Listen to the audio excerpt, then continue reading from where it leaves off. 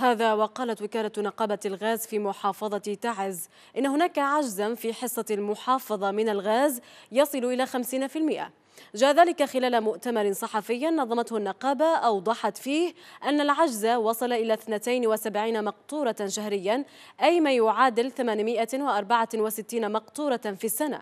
وشددت النقابة على ضرورة تزويد مديرية الريف المدينة بتعز بكامل حصصها منوهة إلى أن العجز أثر بشكل كبير على السكان وطالبت النقابة المجلس الرئاسي والسلطة المحلية وشركة الغاز صافر بتزويد المحافظة بحصتها وعدم التلاعب بها. إلى ذلك انتقد مشاركون في المؤتمر عمل وكلاء الغاز مشيرين إلى أنهم سبب في معاناة المواطنين بسبب التلاعب بمادة الغاز المنزلي.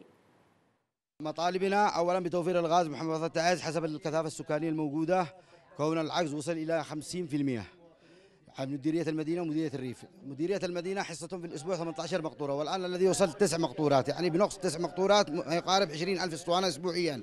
وهذا العدد كفيل بإغراق المحافظة بأزمة خانقة. ونحن مقبلين على شهر رمضان المبارك، لذلك نحن نطالب من القيادة السياسية ممثلة بالدكتور رشاد العليمي والدكتور رئيس الحكومة معين عبد الملك ورئيس مجلس النواب سلطان البركاني الذين هم على رأس هرم السلطة. ومن أبناء هذه المحافظة بأن يوجهوا يعني بزيادة حصة محافظة تعز وترحيل الحصة اولا بأول.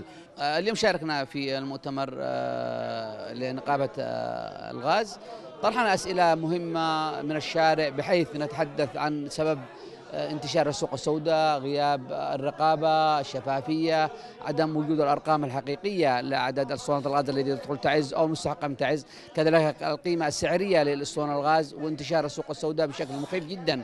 كذلك طرحنا أسئلة أن هناك تم يعني تعيين دباب غاز خاصة بالمواطنين ولكن نجد هذه الأسطوانات لدى الدبابات والباصات كذلك عند أصحاب المطاعم. هناك أسئلة كثيرة. كنا نتمنى أن تكون شركة الغاز موجودة لنطرح أسئلتنا ونتجيب أيضا على الوكلاء الذين يشتكون كذلك من الغاء من شركة الغاز التي تماطلهم ولا تقوم بإيصال المستحقات الدفع عن المستحقات للأسطوانات الغاز لتعز.